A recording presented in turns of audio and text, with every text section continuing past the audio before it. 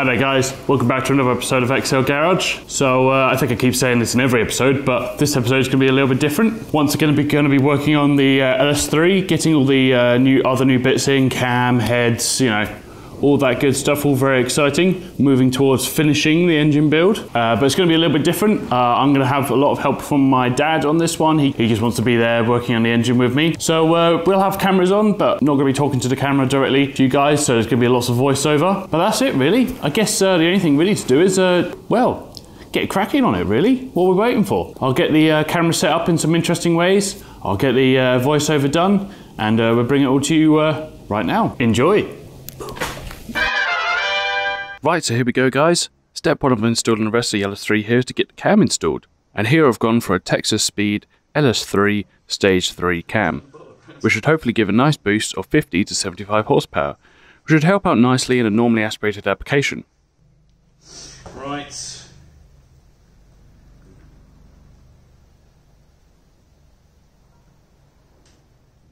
And of course, as the cam goes right in the middle of the block, nestled in the valley of the V configuration, the bearings of this are one-piece shell design. So rather than the top and the bottom of the bearing, the cam simply gets pushed right through them, similar to when you saw me remove the old cam a few episodes ago.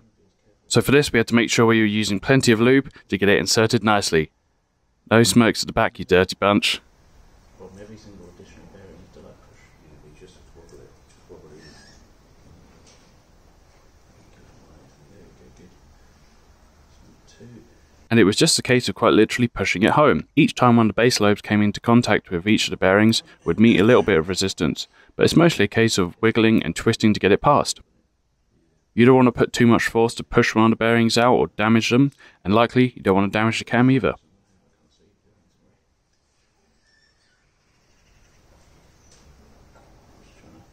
It's, I'm just going to it's a bit stuck. There we go. There we go. Okay. Let's see it. Let's see it. I'm coming. Oh, try and see it. I've got it. I've got it now. Okay, good. Let's see it.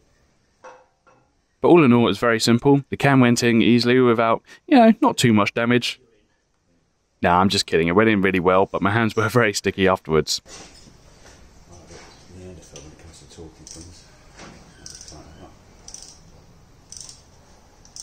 A it doesn't matter if it's cross-threaded or torqued to spec. Tight is tight, right? Despite that, here what you see me using is a torque wrench to wind and install the cam retaining plate, making sure to torque down the bolts properly. It's quite a simple little piece, it simply stops the cam from moving about back and forth and is retained by four bolts. However, it also features a seal built into it which is quite important for the oil pressure of the engine, so it's important and an easy piece to replace. Um, probably timing chain. So considering how easy it is, how cheap it is, and the fact you pretty much have to do it when taking out and installing the cam, it's a no-brainer really. Yep. Then, yeah, in some of those boxes. And a new chain. Yep, new chain.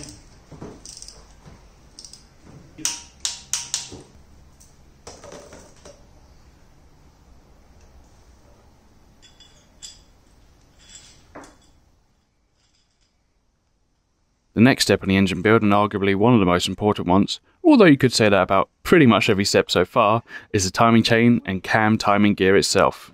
That'll be quite nice. Need to put the push rods.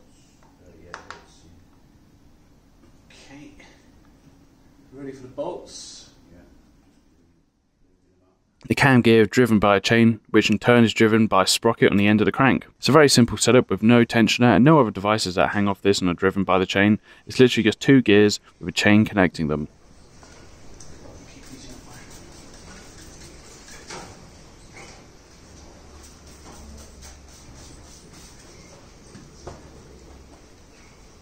The cam gear itself has a few raised sections on the gear that allow the cam position sensors to know exactly where the cam is in relation to the crank and so on.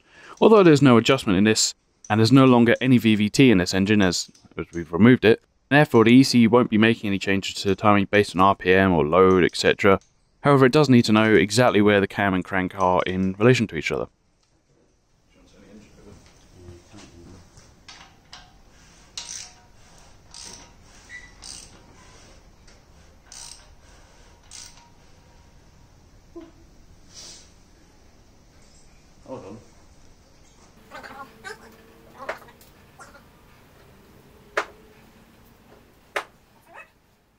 Excuse the chipmunk-like voices here.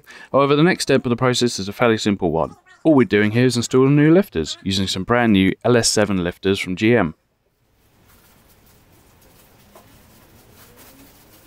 And of course these are hydraulic lifters filled with oil. One end has a roller on it which sits on the cam lobes, the other end pushes up on the push rod, which in turn actuates the rocker arm and opens the valves. Very old school and very simple, but it just works in this case, and is very important, hence replacing them with brand new items. Very simple to install, but they did need a little bit of help from some lube to go in. Well hey. So there's definitely some less than wholesome actions going on here. Cover your eyes, kids.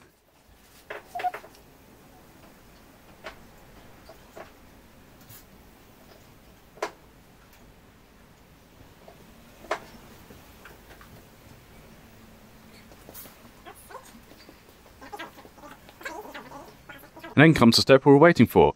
Finally getting the refurbished heads that we refreshed a few episodes ago onto the engine. First step first, let's get the new multi-layer steel head gaskets on there. Get them right way round, Sam, you bloody idiot. There you go. Come around that side. Yeah, I've got it that wrong way. Yeah, yeah.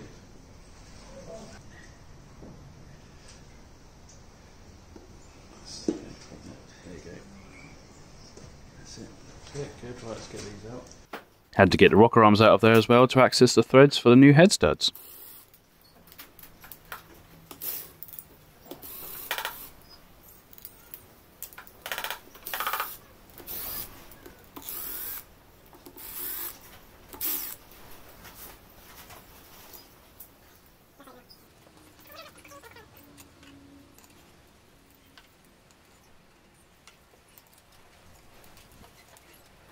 This process of winding in the head studs can take some time. As you can see, this is the second head, so we've had a little bit of practice before this one. And all in all, it basically consisted of installing the brand new head studs from ARP with their washers, the special grease, and their nuts. Decided to go with ARP's head studs over new head bolts or ARP's head bolt offerings for whatever reason, then I just could. They were quite a pain to get wound into the block, they're machined to such a high tolerance that even when they tell you what tools you need, they barely fit. We had to give the Allen key a few love tabs with a small mallet to get it in the end of the stud as you can see. And then the all important ARP lubricant has to go on with the washers and the nuts.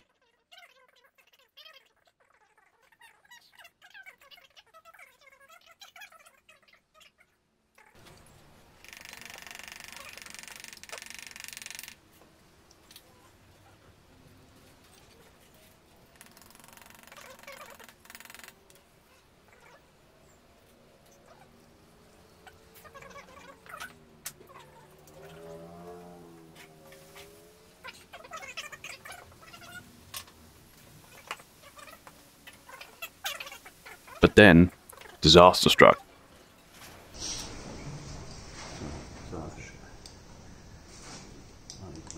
It was at this moment that he knew. He fucked up. Where the fuck did that go? Oh, fuck. Half. Hang on, I might be able to get it from. Who knew there was a. Where the fuck? Oh, did, where it's did gone it go? inside. It's gone inside.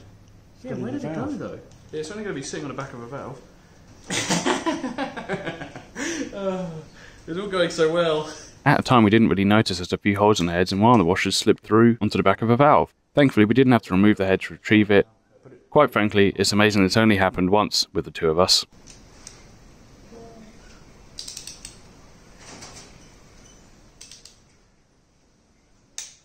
After all of that, there's a very particular torque sequence for the whole thing. Torque itself isn't very high, it's only around 80 foot-pounds, which is actually less than the OEM head bolts. Perhaps this is down to the ARP hardware's greater clamping force potential.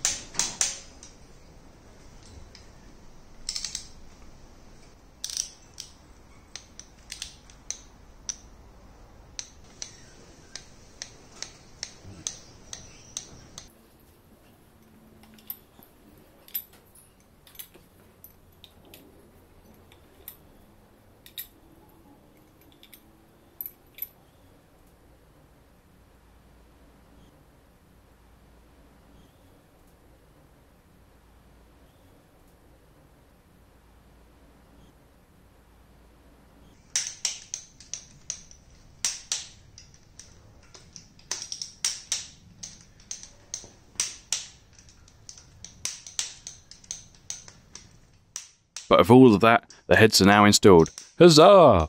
And the top end of the engine is all done. The last step is to turn the engine over and make sure it all goes round nicely. Check that the rocker arms and valves are being actuated properly, and not to mention check that the valves aren't hitting the pistons, which is always a worry when you go building an engine without properly checking the piston to valve clearance. Whoopsie. Yeah, but the valve will be closed, so it should build compression until the valve opens again, surely. Uh, no, because it's kissed down that spark plug up. Oh, yes, of course. There we go. It's down there. But everything went round nicely, we didn't hear any nasty clunks, and I think it's safe to say this engine's ready to run. There's just a few extra steps to go, so we'll get into those next. Back to you, Sam. Thanks, Sam. Right, as you can see here, we've got the engine almost back in one piece now. Just got a couple of bits really left to do. Got to get the oil pump on, and there's a few bits we need to do before that, before we uh, chuck it on here. Show those later. There's some bits we need to do around the back that are very important. Then we have to get the front and rear covers, a couple more sensors back on. I'll probably chuck the valley cover, the valve cover, and the sump on just to close up the engine. Then we chuck the inlet manifold on, again, just to keep it all together, and then this is gonna go away for the winter. But let's not stop here, let's keep going. So I'll bring you around to the back of the engine and I'll show you what we have to do next. Right, so down here you can see that we still have the rear cover off. It's a little bit tricky to get it back on with the engine on the stand, so there's reason there to take it off the stand anyway. But we have another reason, and that is this piece. It's called the oil barbell. From standard, they're made of plastic, and this goes in this little hole here. And what that essentially does is you've got one long oil channel that they machine out the block. Kind of see it running along here. Starts at this plug here and just goes all the way along this big vein and ends up here. They obviously machine that through the block. It's easier to machine one long continuous hole than try and make segmented holes. And what this does is you have the oil filter here, and oil will come along here. It will hit a block here, go down through the oil filter, filter, filter, filter, back up and then through into the crank and the cam and so on.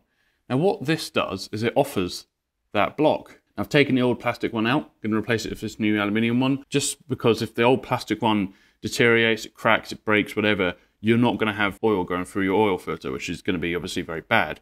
So got a new one, they're not very expensive, and I'm to replace it now. Now to do that, we need to take the engine off the stand, so just a trick for you if you're doing this at home as well. Getting the old one out can be a little bit tricky, but the easiest thing I found uh, was if you actually put a screw, of course this is the, this is the aluminium one, so it won't work with this one, but if this were the plastic one, you can put a screw, screw it slightly into the end. With the screw end that's pointing out the back of the block now, just use a pry bar to pry it out. It comes out really easily. You're actually able to get the old one out while it's on the stand because there's, the tolerances are smaller and so you can kind of wiggle it out. This one cannot get in with the engine stand, so off it's going to come. Right, so it's really simple. We're just going to give this barbell a little bit of oil. Not sure if it necessarily needs it, but it's living in an oil galley anyway, so I'm not too fussed. And that'll just go in here. Just give it a little punt. There we go. That should be in there nicely. And the next step here is just to install the rear plate. The plate has aligns against the, the oil pan here and you also have to put a bit of sealant, but as we're removing the pan, because of course we're not keeping this one, it's wrong for us. Uh, I'm just going to put it on and not torque down the bolts fully. You can see the back of the Texas Speed cam there. Just put a bit of oil on the uh, rear main seal to give it a helping hand getting over the crank here. There we go. Gentle persuasion is always the way. I'm just going to use a bit of thread locker on just because we don't really want these coming off, but I don't see that seal coming off again, considering how much persuasion it needed.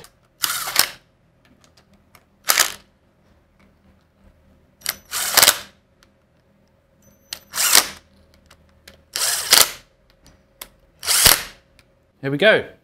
One new rear main seal, new barbell, getting the engine up on the crane, just for all that. So now it has to go back on the stand and we're going to move around to the front side. Right, so next up's admittedly a bit of a weird one. We've got the new oil pump here, brand new high performance oil pump from uh, GM. And of course this is going to go on the engine, but it's going to be sitting there for quite a few months uh, without any oil going through it. Um, and then when time comes to start the car up, all the oil is going to be in the pan and it's not going to build any pressure. Damage this, damage the engine, you know, all kinds of problems. So to help it build up pressure, there's an old trick which uh, may sound a bit weird, but you essentially pack out the oil pump with Vaseline. It's easy to pack it out with. It will melt almost instantly, um, the second it gets any heat into it, and then it's, so, it's soluble with oil. So that's what we're going to do. First let's first, let's whip this back cover off.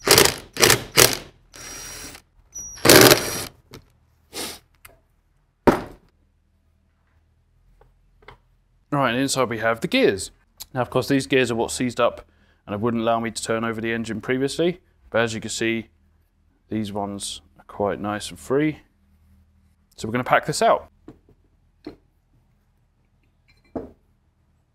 Just going to scoop this out of my hand, smash it in there, and then put it all back together. There's no two ways about this really. It's going to get messy. You guys can uh, sit back there and watch me make an absolute fool of myself, like this.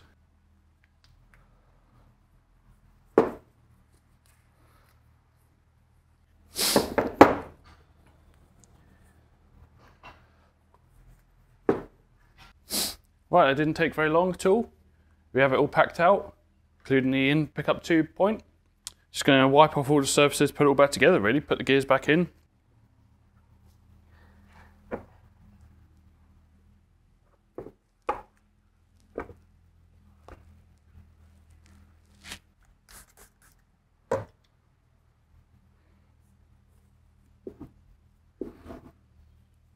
There we have it. Let's get these bolts back in, give them a little bit of Loctite, just don't want these coming out, although I don't think they uh, physically can because they are backed up against the engine block.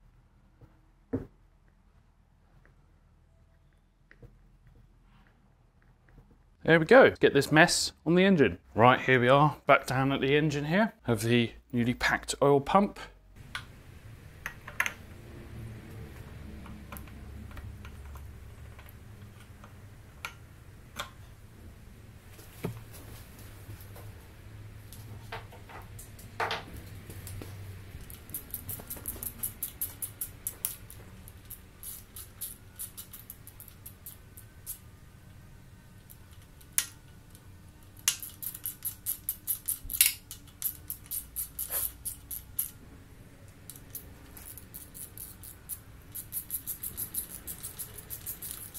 Right, I'm not sure how much the previous clip you were heard. My sound recorder ran out of battery, so whatever, here we are, oil pumps on. Right, so got all the four bolts on here.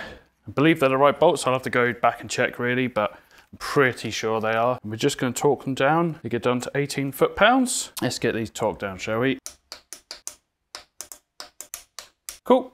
All done. Get the front plate on, and uh, we won't be torquing this down because this gets centered up by the crank pulley. So we'll uh, get that on another time, perhaps off camera. Probably need help doing that. We won't be doing it this episode, and then we'll torque these down with that. This strangely didn't come with any hardware, despite the fact that it's made by the same people that made the rear one.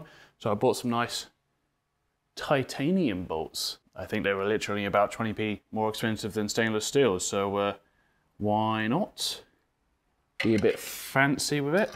About the fanciest bit of this engine is these uh, titanium bolts. Oh, and the ARP studs, of course. Just gonna wind these in with the gun. Not gonna get them too tight.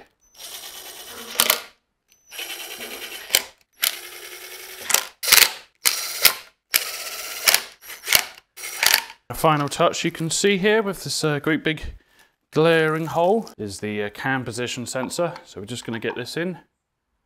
There we go, and it has this little bolt. Fantastic. Doesn't that look awesome?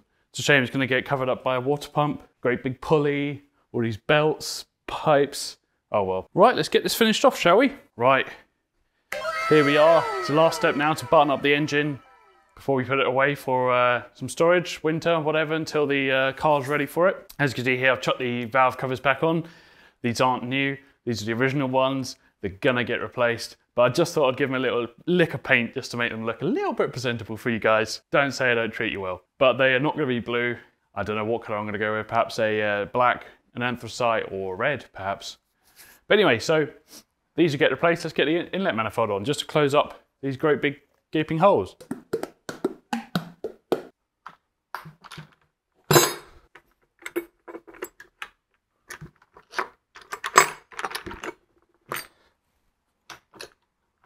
There is actually a torque sequence to the inlet manifold, but I'm not really going to torque it down. I'm just going to wind the bolts in.